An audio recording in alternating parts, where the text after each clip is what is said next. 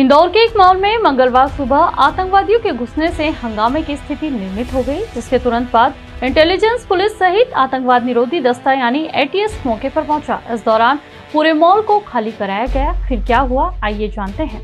दरअसल सच्ची आतंकवादी घटनाओं को रोकने के लिए तैयार की गई थी। इंदौर के मॉल में एटीएस भोपाल इंदौर पुलिस और बीडीएस विभाग द्वारा बड़ा चेकिंग अभियान चलाया गया। मामले में इंटेलिजेंस के एसीपी आनंद सोनी का कहना है कि संभावित घटनाओं को देखते हुए कई प्रमुख स्थानों पर किया गया है। इस योजना के तहत इंदौर के मॉल प्रबंधन से बात की गई थी। मॉल के कर्मचारियों को पहले से इसकी सूचना दी गई थी। इस योजना के तहत सुबह एक व्यक्ति को आतंकवादी के रूप में मॉल में प्रवेश कराया गया। सूचना मिलने पर आतंकरोधी दस्ता और पुलिस मौके पर पहुँची। अत्याधुनिक हथियारों से लैस जवानों ने पूरे मॉल को घेर लिया और मॉल को खाली कराया गया। बाद में पूरे मॉल की सर्चिंग शुरू की गई। दरअसल, देश में हो रही विभिन्न घटनाओं को देखते हुए लगातार आतंकवादी विरोधी दस्ते द्वारा प्रदेश भर में इस तरह की मॉक ड्रिल की जाती है। इससे पूर्व सेना द्वारा होटल, एयरपोर्ट और आईआईएम में भी मॉक ड्रिल किया जा चुका है। मंगलवार की सुबह इंदौर के मॉल में इस प्रक्रिया को अपनाया गया।